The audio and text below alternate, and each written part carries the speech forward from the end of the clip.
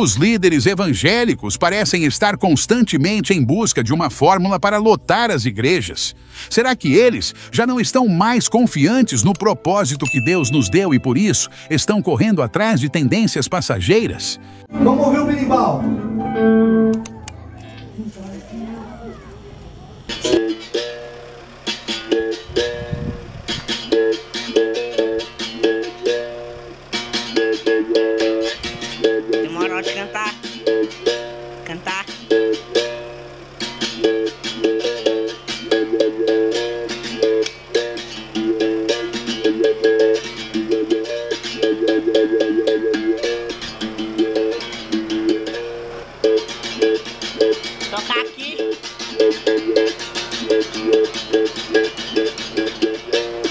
Realidade é que muitos pregadores deixaram de ser guiados pela unção e sim carnais, tornando-se mais focados em ganhos materiais. Gerar é um processo difícil. Tem dia que você não quer ver ninguém. Tem dia que você não quer comer ninguém. Tem dia que você não quer comer nada. Tem dia que você quer comer tudo que tá na sua frente. Parece que eu tô entendendo. É por isso que as pessoas costumam dizer que para você comer alguém, os, os chineses falam isso, né? Você tem que comer o quê? Um quilo de sal, né? Junto com a pessoa. Percebendo que seus seguidores têm sede de novidades, encontraram formas de atrair mais pessoas aos templos, como trazer práticas e influências do mundo para dentro de suas falsas igrejas.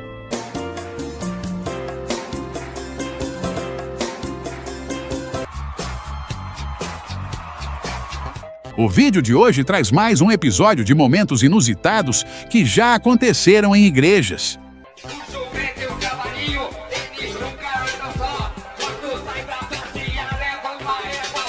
Vale lembrar que o objetivo aqui não é ofender crenças religiosas. Todos somos livres para escolher em que acreditar e a quem seguir. A intenção é apenas refletir sobre questões relacionadas às religiões.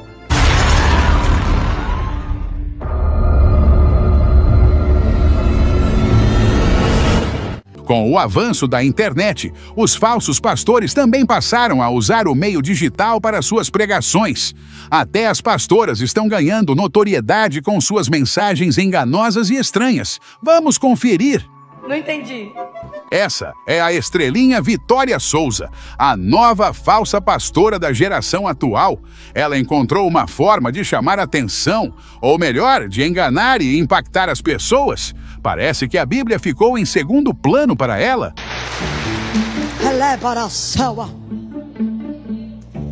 Você já viu quando um membro do corpo começa a crescer? Já viu?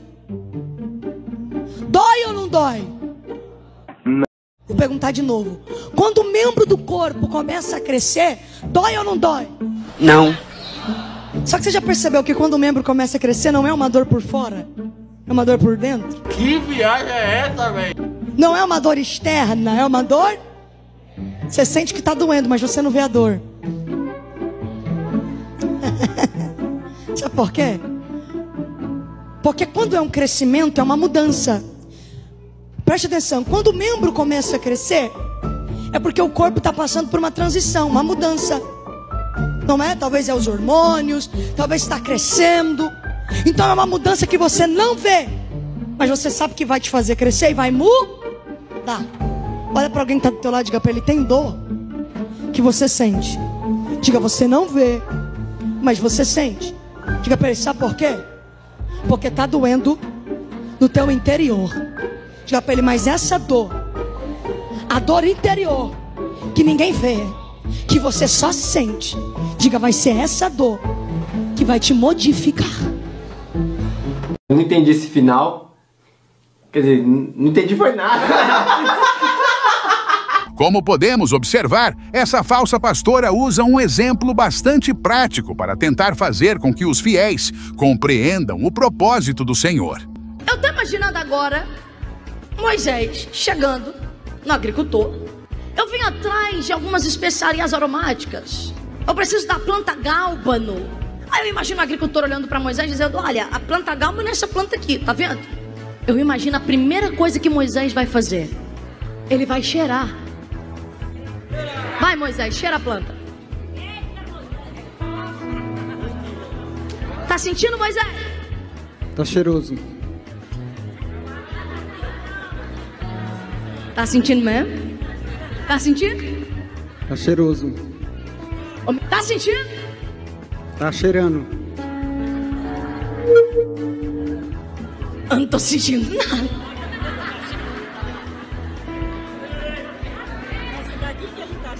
Essa daqui?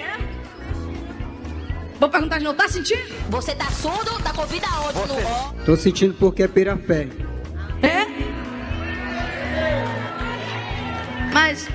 Tô sentindo. Pode aplaudir pela vida dele. Mas agora, sem a fé, irmão, sem a fé, você tá sentindo? Sem a fé a gente não sente. Não sente. Tá sentindo nada então? Tá sentindo ou não? Você tá sentindo? Não. Tá sentindo? Não. Não. Ela é uma planta de verdade? Tá sentindo ou não? É claro. Antigamente, em algumas falsas igrejas, a oferta só era feita passando o coador entre os fiéis. Hoje, com a tecnologia, tudo mudou. A nova tendência é o popular Pix. Durante uma live, esse suposto e falso apóstolo fez um apelo emocional aos internautas, pedindo ofertas de acordo com a idade de cada pessoa. Se você tem 30 anos, uma oferta de 30 reais. Se você tem 50 anos, uma oferta de 50 reais. A minha será de 58. 59 agora, né? A minha será de 59 reais. É dia 2 de novembro, eu completo 59. Vai trabalhar, vagabundo. E a vergonha, cara, vai trabalhar. A minha faltará um real para 60. Eu vou arredondar para 60. A minha será então de 59, né? Eu vou arredondar para 60. Então vai ser assim. E entrega um pedido especial. Tu tá querendo me roubar, Miguel? Se a maioria das vovozinhas soubesse usar celular, meus amigos, posso imaginar o quanto esses líderes gananciosos arrecadariam. Mas, enfim, vamos deixar isso de lado. E se você acha que só falsos pastores pedem pix em lives, está enganado. Agora também há falsas pastoras sem vergonha fazendo o mesmo. Deus, Senhor, eu tenho 18 anos, eu vou botar 18. Eu tenho 40, vou colocar 40. Você vai fazer o propósito do voto da sua idade. Eu quero ver todo mundo aí agora determinando. E aqueles que querem fazer barganha contigo, só em pensando em receber, tu conheces o coração. Mas, espere aí, falsa pastora, isso que você está fazendo não é uma forma de barganha. Você paga e em troca Deus te abençoa. É essa a mensagem que você está passando. Se esses votos realmente funcionam na vida dos fiéis desinformados, não posso afirmar. Mas na vida dessa falsa pastora, claramente sim. Basta olhar para as redes sociais dela, onde exibe as coisas da moda que possui. Veja como algumas pessoas preferem ser enganadas, simplesmente por não buscarem ler as Escrituras. Surge essa falsa pastora com atitudes duvidosas, vestida de forma provocativa e movida pela ganância, vendendo orações e falsas profecias em troca de pix. Ela usa as ofertas recebidas para bancar tratamentos estéticos, enquanto mulheres, lidando com suas próprias inseguranças, enviam dinheiro para que essa pastora continue exibindo um corpo todo artificial. Note o luxo e a ostentação em que ela vive. Pode falar, revoltado. Pode falar, revoltada. Eu vou agora, em nome de Jesus, profetizar que você que vai abençoar, que você que vai ajudar. Deixa eu pensar. Espera sentado. Afinal, quem vai querer assistir a uma live em que o pastor age dessa forma? Se eu te encontrar e a gente encontrar, a gente regaça a sua cara, seu Zé Ruela. Olha só, aqui a gente não passa pano para pastor assediador, não, seu desgraçado. Como é que é? Seu Zé Mané, a igreja é lugar de homens e homens arrependidos, homens prostrados. Seu bosta, você é um bosta. Resista, seu bosta. Vire um homem, seu bosta. A igreja é lugar de homens. O que sabemos é que estamos na era da nova geração de crentes modernos. O uso das mídias sociais faz com que, queira ou não, acompanhamos as tendências atuais, como as famosas dancinhas.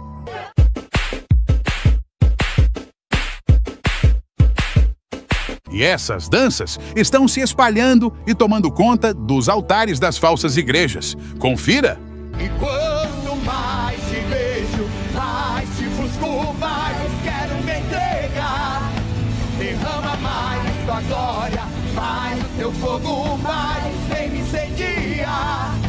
E quanto mais te vejo, mais te busco, mais quero me entregar. Derrama mais tua glória, mais teu fogo,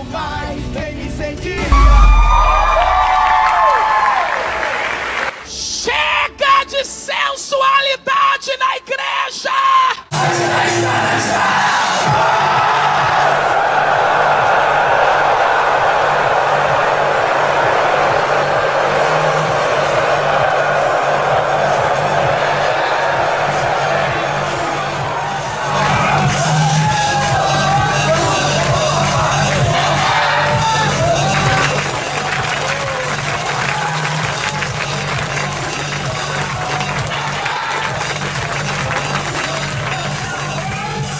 Ô pastor de igreja, você que não fala de saia curta, é que você gosta de ver as pernas das irmãs. Eu gosto, hein? Pastoras ou influenciadoras? A polêmica que divide os evangélicos. A cena religiosa está em choque. Mulheres se auto-intitulam pastoras, mesmo sabendo que esse título não existe. Isso mesmo. Por mais que você duvide e se pergunte por que elas usam roupas que mais parecem de um desfile de moda do que de um culto, será porque essa nova onda de pastoras está mais interessada em seguidores nas redes sociais do que em levar a palavra de Deus? Essas falsas pastoras realmente chamam a atenção pelo modo como se vestem no púlpito. A questão é se suas pregações realmente edificam os fiéis. Isso é uma outra história. O problema é que essas falsas pastoras têm gerado polêmica nas redes sociais devido ao seu estilo. Os evangélicos estão divididos em relação às roupas justas que elas usam em seus altares. Alguns criticam, afirmando que elas são falsas servas de Deus e apenas escandalizam o evangelho de Jesus. Outros, no entanto, apoiam, afirmando que não é a roupa que define o caráter de alguém. Mas espera um pouco. A roupa não define caráter, mas seu caráter define a roupa que você usa. Seu caráter reflete quem você é. A pergunta é: esse novo método de pregação ultrapassa os limites ou não? Quando você veste uma calça legging ou uma calça skinny e não cobre o teu quadril, você vai ter riscos de mostrar o seu capô de busca dividido. Aí você bota um negócio que divide no meio e você vem aqui cantar. Aí a irmã que tá com o marido ali do lado não sabe o que fazer. O que você tem que entender é que a sua decência, a sua modéstia não é para você. É para evitar constrangimento. Tá virando bumbum porque quer mostrar o bumbum. A superficialização da fé tem levado algumas mulheres a explorar a imagem religiosa para fins pessoais. Essas figuras, muitas vezes chamadas de pastoras, usam a sensualidade como ferramenta de sedução, desviando o foco dos ensinamentos espirituais para a aparência física. Essa prática questionável tem atraído um público masculino em busca de experiências sensuais disfarçadas de religiosidade. Igreja, pastores, parem de meter pau nos outros. Vamos pregar Jesus. Para que tá feio, tá vergonhoso. A discussão sobre o vestuário sempre dividiu opiniões entre os evangélicos mais tradicionais. Em algumas igrejas, mulheres são proibidas de usar calças, maquiagem e cortar o cabelo, enquanto homens não podem usar bermudas. Para esses grupos, pastoras que não seguem essas regras escandalizam o evangelho e são vistas como instrumentos do diabo. Essas práticas pouco convencionais têm gerado debates acalorados na comunidade evangélica. A pastora brasileira Renálida Carvalho se tornou um assunto bastante comentado nas redes sociais após um vídeo de uma de suas ministrações viralizar. As roupas que ela usava durante o culto chamaram a atenção de muitos internautas.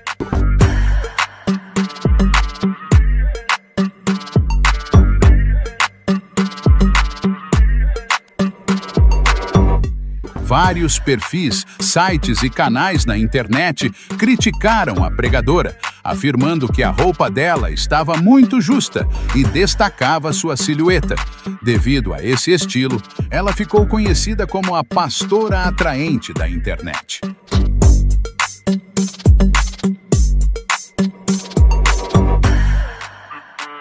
Preste atenção no traje da falsa pastora. Será que a roupa dela é realmente tão inadequada?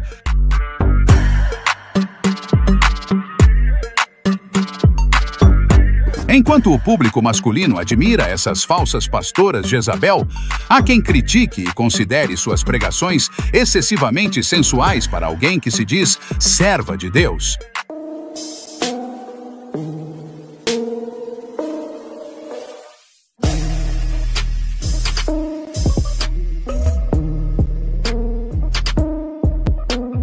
E agora eu vou levantar aqui nessa live. Eu vou agora, em nome de Jesus, profetizar que você que vai abençoar, que você que vai ajudar. Muita gente faz aí, pede. E ah, mas não, a pastora aqui, ah, é ela que a gente vai meter o pau. Mete, meu amor, pode meter, mas aqui tá comigo, bebê. Mete, mete mesmo.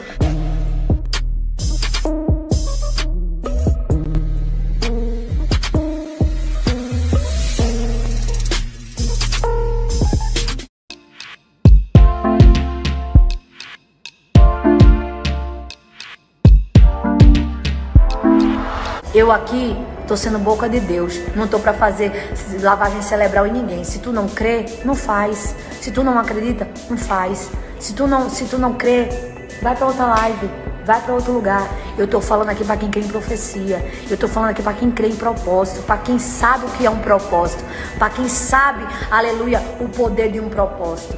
Se você não crê, não faça. Se você duvida, não faça. Não perca seu tempo.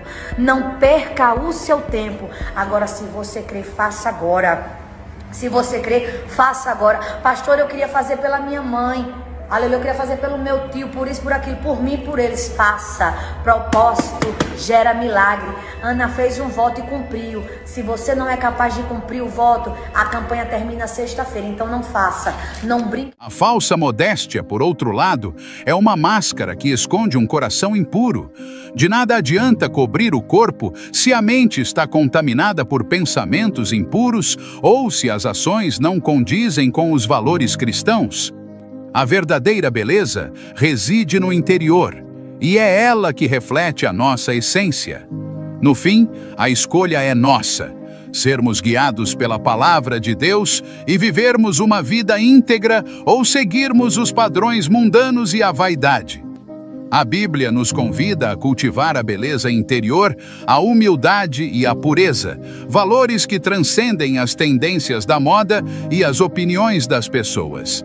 A beleza de vocês não deve estar nos enfeites exteriores, como cabelos trançados e joias de ouro ou roupas finas. Ao contrário, que ela seja algo interior, imperecível, demonstrada em um espírito dócil e tranquilo, o que é de grande valor para Deus.